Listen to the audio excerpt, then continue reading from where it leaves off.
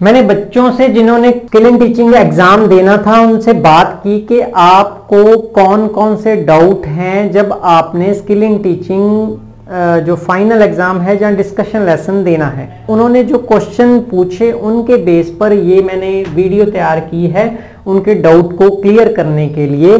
क्योंकि ये बात याद रखनी है कि जब आपको स्किल इन टीचिंग में इवेल्युएट किया जा रहा है यहाँ आप हो और यहाँ स्टूडेंट्स हैं, वो भी रियल और यहाँ पीछे एक एक्सटर्नल और एक internal teacher educator as examiner बैठा हुआ है। तो आपने कैसे एंटर होना है, कैसे वो, उन्होंने इवेल्युएट क्या क्या करना है? अगर आपको ये पता है या यूनिवर्सिटी का रूल पता है या एफिलेटिंग बॉडी का रूल पता है कि ये इवेल्युएशन का क्राइटेरिया ये होता है, ऐसे मार्क्स लगते हैं तो आप उन बातों का ध्यान रख सकते हो। सिर्फ़ 20 मिनट का ये एग्ज़ाम होता है। तो सबसे पहले हाँ कुछ टिप्स होंगे ये इसमें। पिछले वीडियो में मैंने एक वीडियो में जो इससे ही रिलेटेड था during skill in teaching exam में, उसमें सिर्फ़ एरर और मिस्टेक्स डिस्कस की थी, जो 10-11 मिस्टेक्स है, वो कैसे अवॉइड कर सकते हैं, वो आप, वो वीडियो अलग देख सकते हो। यहाँ पर टिप्स जो हैं उनकी बात की जाएगी। दैट इज़ वाई इसको पार्ट टू भी मैंने कहा है।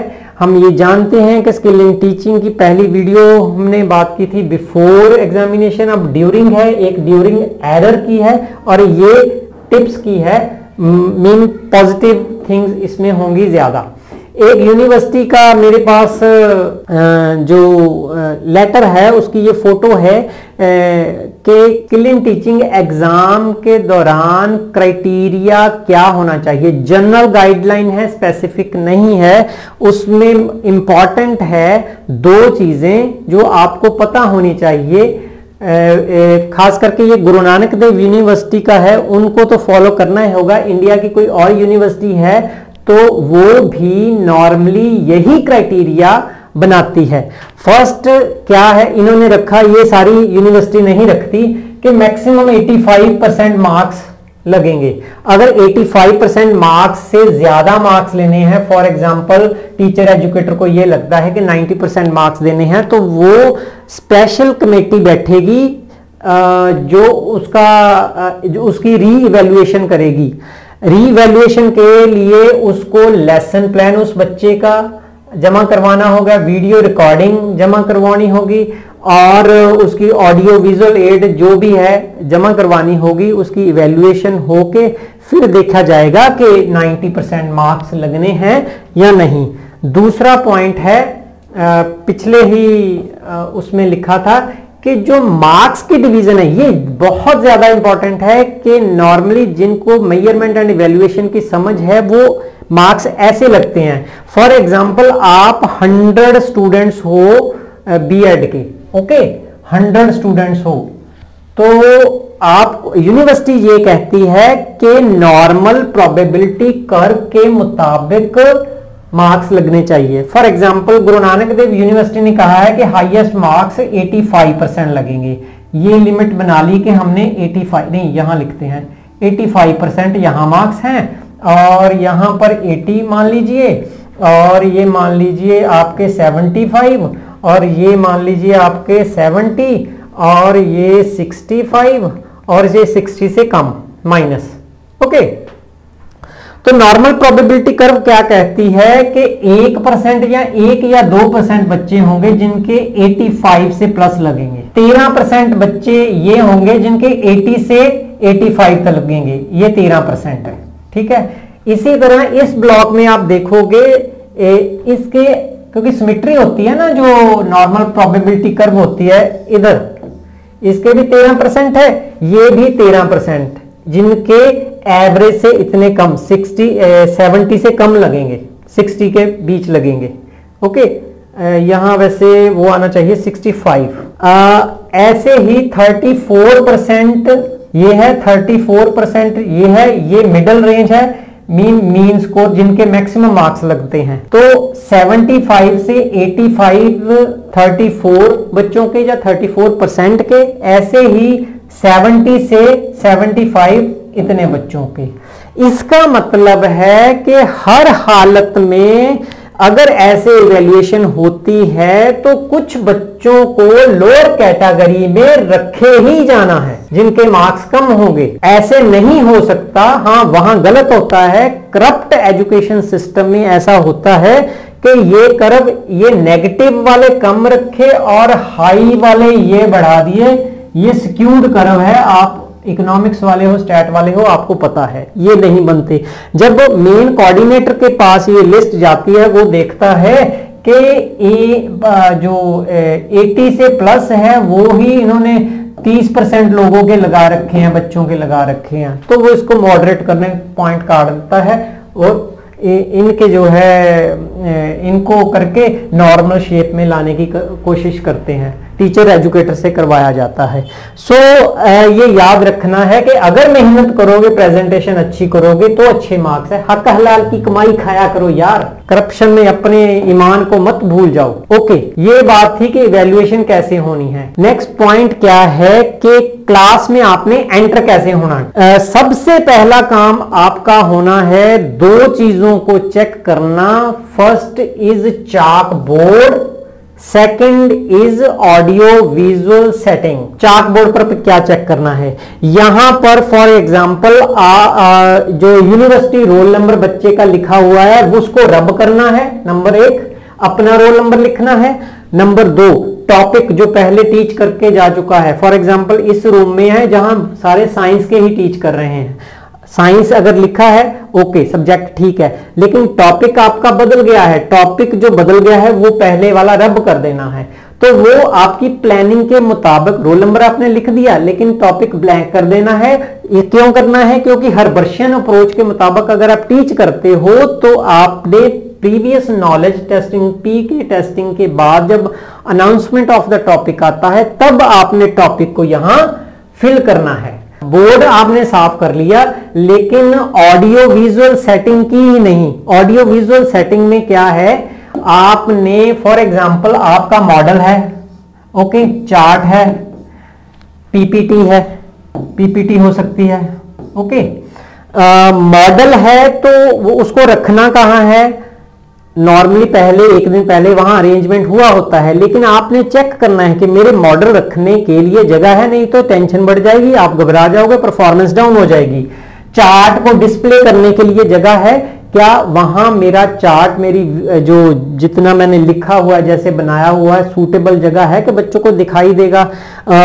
चिपकाना है डबल टेप लगानी है हैंग करना है, ये पहले भी चेक करना है। एक दिन पहले चेक कर लो तो बेस्ट है।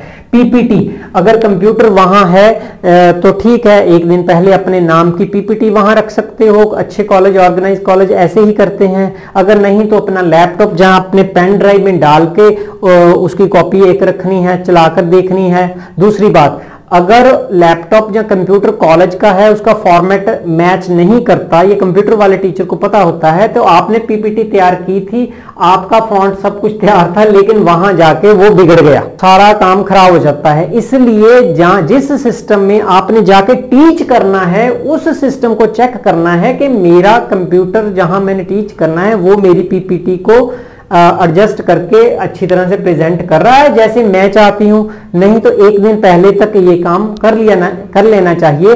दूसरा आइडिया ये है कि अपना लैपटॉप लेके जाओ, उसमें पीपीटी रखो, उसमें आपने जिसमें बनाई है, उसको इंसर्ट करो और अपनी टीचिंग शुरू कर दो। सेकेंड पॉइंट है इंट्रोडक्शन को नेचुरल बनना चाहिए। ये पॉइंट है कि फॉर एग्जांपल कई बार हम करते हैं अच्छा बच्चों, मैं आपसे ना कुछ प्रश्न पूछूँगा। प्रश्न पूछूँगी नहीं ऐसे नहीं है नेचुरल रहना है। वो कैसे हो सकता है? नेक्स्ट पॉइंट देखो। ये बच, बहुत बच्चों ने कहा कि इंट्रोडक्शन ऑफ़ द प्रॉब्लम ये बहुत प्रॉब्लम है। उसका एक ही प्रिंसिपल है कि कैसे आपने इंट्रोड्यूस करवाना है। First and last create interest कैसे कर सकते हो आप? मैंने लिखा है ऑलवेज यूज़ ऑडियो और विजुअल एड जब आप टॉपिक को इंट्रोड्यूस कराना चाहते हो, सिर्फ़ क्वेश्चन मत पूछो।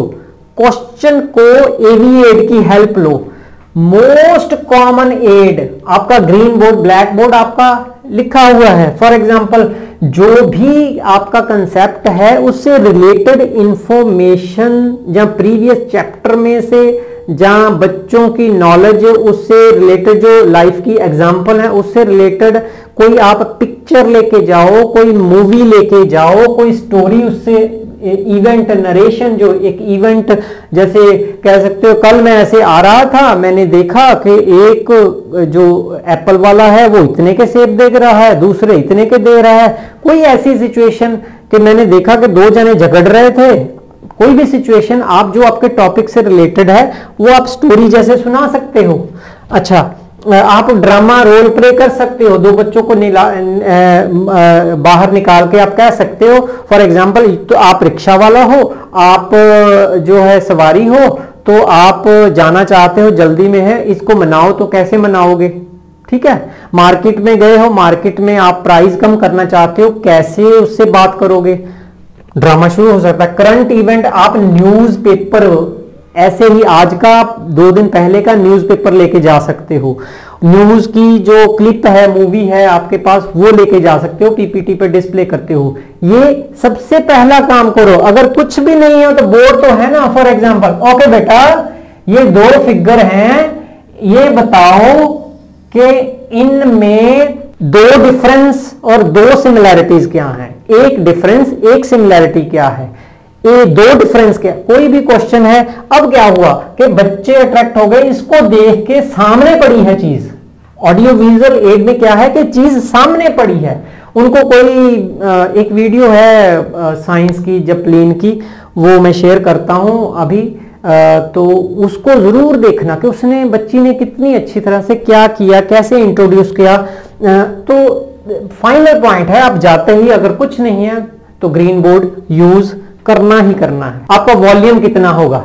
वॉल्यूम जो नॉर्मल प्रोबेबिलिटी कर्व है, उसमें मोस्टली जो कोऑर्डिनेटर जो मेन जिसने आपकी मार्क्स की लिस्ट फाइनल करनी होती है, वो ये कहते हैं कि ये जो नेगेटिव साइड है, अगर बच्चे की वॉइस ही लो है तो उसको सीधा लो कैटेगरी में रखो मार्क्स कम कैटेगरी में। इसका साफ़ मतलब हुआ कि आपको एवरेज या प्लस आपकी वॉल्यूम चाहिए। मीन एग्जामिनर सबसे पीछे बैठे हैं, उनको कम से कम आवाज़ सुनाई देनी चाहिए। दूसरी बात, अगर आप इतना ऊँची बोलते हो कि आप में कंपन नहीं है कॉन्फिडेंस है एंजाइटी नहीं दिखाई दे रही है, और आपको पता है कि आप आँखों में आँखें डाल के बोल रहे हो तो उससे डिसिप्लिन जो कंट्रोल होना है, वो भी हो जाएगा। हाँ आपने चीख जैसे नहीं क्राई नहीं करना। वॉल्यूम को अप रखना है। जब भी किसी का वॉल्यूम अप होता है अटेंशन बढ़ जाती है। तो आपका वॉल्यूम अगर लो है तो सीधी बात है कि आप नेगेटिव में जा रहे हो। एवरेज से प्लस जो जितने भी इफ़ेक्टिव टीचर या टीचिंग हुई है, उनका वॉल्यूम एवरेज से अबव रहता है। इस बात का ध्यान रखना है। नेक्स्ट है कि स्पीड कितनी हो आपकी टीच करने की। स्पीड का प्रिंसिपल है सिंक्रोनाइज अगर फॉर एग्जांपल बच्चे कॉग्नेटिव लेवल उनका कॉग्नेटिव लेवल लो है एवरेज है हाई है। आप वो शब्द नहीं यूज़ कर सकते कि बच्चे होशियार हैं बच्चे एवरेज हैं, या बच्चे बैकवर्ड हैं। अगर वो लोअर हैं, अगर वो फॉर एग्जांपल गवर्नमेंट स्कूल के हैं, जहाँ उनको, उनके माता पिता पढ़े हुए नहीं हैं, उनकी बेसिक नीड ही पूरी नहीं होती, उनका प्रीवियस वो कम होगा। तो उनकी नॉलेज लर्निंग कम होगी। यूनेस्को ने भी जो इंडिया पर सर्वे किया है, यही बताया है ना कि एक एस्पेक्ट क्वालिटी का है कि पेरेंट्स और वो बैकग्राउंड बच्चा क्या लेके आता है। अगर बच्चे उस कैटेगरी से हैं, जो मोस्टली गवर्नमेंट स्कूल में होते हैं तो आपकी स्पीड स्लो होगी। तेज नहीं बोलोगे। बच्चे के मन में कुछ नहीं जाएगा। अगर कोग्नेटिव लेवल ज़्यादा है जब बच्चे होशियार हैं जब बहुत अच्छी क्रीम जैसे हैं, उनकी लर्निंग पहले से हाई है, फिर आप उनके मुताबिक अगर एवरेज हो, अगर हाई स्पीड हाई एबिलिटी वाले हैं तो थोड़ा तेज कर सकते हो। पर ये प्रिंसिपल बेटर है, क्योंकि इंडिविजुअल डिफरेंस का ध्यान रखना है। इंडिविजुअल डिफरेंस में आप हाई स्पीड को अवॉइड आपको करना चाहिए। हर हाल में verbalism is rejected so average और लो स्पीड से आप चलोगे। ये आपने साथ साथ में देखना है ना कि बच्चों से चेहरों से समझ आ रहा है। इधर देखो इधर देखो, जो बच्चा कम हरकत कर रहा है उसको भी देखो, इसको समझ आ रहा है, उसे पूछ सकते हो। तारे जमी पर आमिर खान कैसे पूछता है? दो बार उसको ड्राइंग देता है, वो करता नहीं है तो फिर वो कहता है, कोई बात नहीं बच्चा है ना? तो ऐसे आपने साथ साथ में इवेल्युएट बच्चे को करना है। क्लासरूम में दो तरह की घटनाएँ होती हैं पॉजिटिव और नेगेटिव नेगेटिव आपको लगता है, लेकिन साइकोलॉजी उसको नेगेटिव नहीं कहती। शरारत कर रहा है बच्चा, करना ही है एक्टिव होना चाहिए बच्चे। और बीमार करके बिठाने हैं कि कुछ मत बोलो। आपने फोकस पॉजिटिव एस्पेक्ट पर करना है। फोकस पॉजिटिव आपके लिए क्या है? कि जो बच्चा क्वेश्चन का आंसर दे रहा है, जो बच्चा अटेंड कर रहा है, वो जो बच्चा लर्निंग को फैसिलिटेट कर रहा है, जो बच्चा गलत दे रहा है जवाब, लेकिन कोशिश तो कर रहा है ये सब कुछ पॉजिटिव है। आपने पॉजिटिव पर फोकस करना है नेगेटिव पर अगर ज़्यादा फोकस कर गए, आपका टेम्पर लूज हो जाता है और आप सारी टीचिंग दो चार परसेंट केस होते हैं ऐसे कि आप अपना टेम्पर लूज कर जाते हो। नेक्स्ट है अटेंड ऑल द स्टूडेंट्स एक कैटेगरी मोस्टली क्या होता है कि एक कैटेगरी जो बच्चे जवाब दे रहे हैं, उनको अटेंड करने लगते हैं। नहीं जो एक बच्चा जवाब बार बार दे रहा है, उसको छोड़ के, उसको कहो कि इनके साथ शेयर करो। जहाँ दूसरे अच्छा इस तरफ़ वाले बच्चे, आपने जवाब दिया, आप इधर से देखें कौन जवाब देता है। कोई बात नहीं, सोचो, गलत जवाब आता है। आप अपनी फ्रीडम दे दो। आप ये पहले कहो कि बोलो, आने दो। गलत जवाब ही आने दो। लेकिन उनको डिस्करेज नहीं करना, हर हालत में। ठीक है? वो डिफरेंट लेवल है। पूरी क्वेश्चनिंग पर एक वीडियो बन सकती है। यहाँ बात नहीं करूँगा। सो सभी बच्चों को इन्वॉल्व करना है। अवॉइड दो बातें बार बार हैं जो गलतियाँ होती हैं। बच्चे बोलते, ठीक है ठीक है ठीक है, समझ आ गया, समझ आ गया। ये बोलनी नहीं है बातें। तकिया कलाम, वो पर्सनैलिटी में भी ठीक नहीं लगता क्लासरूम में अंडर एवेल्युएशन भी ठीक नहीं लगेगा। इसको अवॉइड करना है। अच्छा कई बच्चे 10 से 15 परसेंट बच्चे जो एग्जामिनर पीछे बैठा है, वो ऐसे देखेंगे कि देख रहे हैं मुझको। मार्क्स लगा रहे हैं स्माइल कर रहे हैं नॉडिंग कर रहे हैं, उनको अच्छा लग रहा है, आपने नहीं उनको जज करना। उनकी उनको ये मानना है कि इवेल्युएशन एग्जामिनर तो क्लास में बैठा ही नहीं है। सिर्फ़ आप हो, आपके स्टूडेंट्स हैं। नेक्स्ट है री इन्फोर्समेंट मीन जो आप रिवार्ड देते हो, आप शाबाश देते हो, आप स्माइल देते हो, किसी बच्चे ने सही आंसर दिया, थोड़ा सा करेक्शन आपको अच्छा लगा, उसको दो कुछ, पर वो अगर छोटा सा काम किया, आपने उसको हीरो बना दिया, या इसको बायस रिवार्ड दे रहे हो, किसी को ज़्यादा, किसी को कम, नहीं। रियलिस्टिक जो जितनी डिजर्व करता है, अगर आप किसी बिहेवियर को ज़्यादा रिवार्ड शाबाश भी दोगे, वो भी गलत हो जाता है। बाकी बच्चे डिस्करेज होते हैं। अगर उससे कम देते हो तो भी बच्चा वो आंसर या वो अपनी टेंडेंसी जो है, अच्छी आदत है, वो छोड़ने लगता है कि उसको रिवार्ड नहीं मिलता। बिहेवियरिज्म का रूल है। Punishment 100 percent avoided extreme condition में हो सकती है, लेकिन आप वायलेंट बिहेवियर नहीं दिखा सकते। आप डांट नहीं सकते ड्यूरिंग एग्जामिनेशन क्योंकि आपने ट्रेनिंग ली हुई है। सिर्फ़ आपको 20 मिनट मिले हैं, उसमें कोई पनिशमेंट नहीं।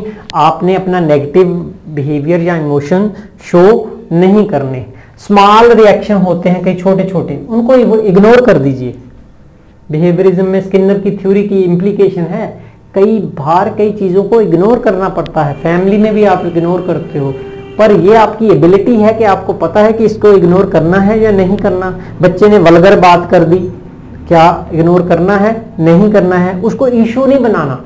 हाँ इग्नोर वहाँ कर दिया, लेकिन क्लास के बाद उसको बुला लिया। सबके साथ सामने नहीं डांटा। सो छोटी छोटी कई बातें होती है जो बच्चे इंजॉय करते हैं, एक दूसरे के साथ कहते हैं, शिकायत करते हैं, सर, ये ऐसे कर रहा है। हंस रहे हैं आप आपस में। कई बार वो इग्नोर करनी पड़ती है। डिस्टर्ब नहीं होना। एक्टिविटीज़ के मार्क्स हमेशा ज़्यादा होते हैं।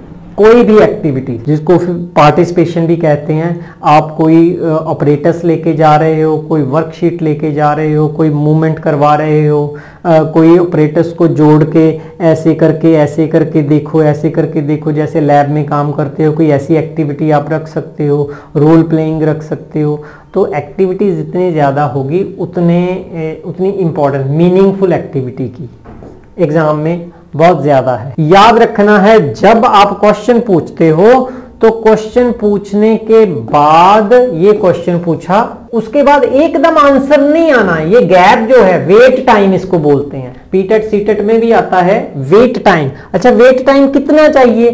वेट टाइम चाहिए अगर आपका ब्लूम्स की टेक्सोनॉमी है, अगर लोएस्ट लेवल है आपका फॉर एग्ज़ाम्पल भारत कब आज़ाद हुआ, है ना? आपने लोएस्ट लेवल है। है ना? तो इसका वेट टाइम बहुत कम होगा, इतना। अगर आपका अंडरस्टैंडिंग एप्लीकेशन एनालिसिस जैसे जैसे हायर क्वेश्चन है, इसका वेट टाइम बहुत ज़्यादा होगा। आपको हो सकता है थर्टी सेकेंड एक मिनट वो ये भी हो सकता है कि आपको हो जब आपका क्वेश्चन हायर लेवल का है या डिफ़िकल्ट है तो आप ये अलाउ करो डिफ़िकल्ट लेवल ज़्यादा है कि बेटा आप दो दो के ग्रुप बनाओ, मैं आपको 30 सेकंड दे रही हूँ वन मिनट दे रही हूँ एग्ज़ाम में ज़्यादा नहीं दिया जा सकता, ठीक है? तो आप इंटरेक्ट कर सकते हो स्टिमुलस वेरिएशन भी होगी तो डिफ़िकल्ट चैलेंजिंग क्वेश्चन पूछो वेट टाइम बढ़ाओ, अगर नहीं है तो वेट टाइम कम कर दो। ऑटो एकदम क्वेश्चन के बाद आंसर ये बिल्कुल गलत है। तो ये कुछ बातें थी जिनका आप ध्यान रख के अपनी टीचिंग को बेटर कर सकते हो। साथ में जो एरर वाली वीडियो है वो भी देख लेना। अगर आपकी कोई क्वारी है, आप कमेंट बॉक्स में लिख सकते हो। Thank you